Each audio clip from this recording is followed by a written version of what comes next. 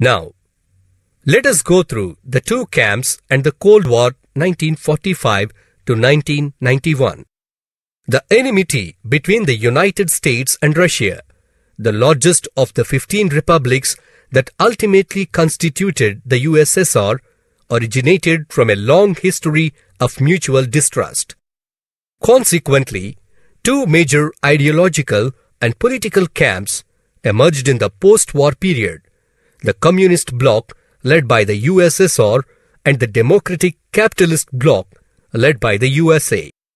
While the USSR was promoting the ideas of equality and state controlled development and suppression of opposition to these principles, the USA was promoting the ideas of multi-party democracy and private capitalist controlled process of development. The USSR had the entire Eastern Europe, Poland, Hungary, and East Germany under its influence and many colonies which were gaining freedom like China and Vietnam were supporting it. The countries of Western Europe like Britain, France, Spain supported the USA. The two blocs competed with each other for bringing the countries in between their blocs.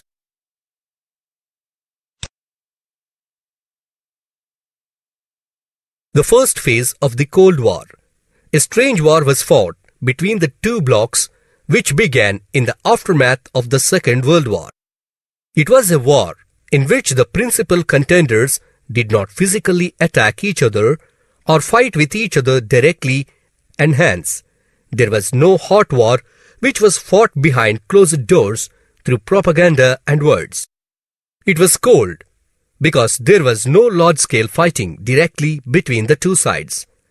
Although there were major regional wars in Korea, Vietnam and Afghanistan that the two sides supported. This Cold War had created an intense tension between the United States and the USSR, which influenced and shaped almost everything that happened in the world between 1945 and 1991. However, the Cold War was not just a propaganda war. It also saw real fighting and cost around 20 million human lives. The citizens of the third world countries, which were newly emerged countries from colonial domination, like Vietnam, Korea, Angola, and Afghanistan, were killed at a large scale.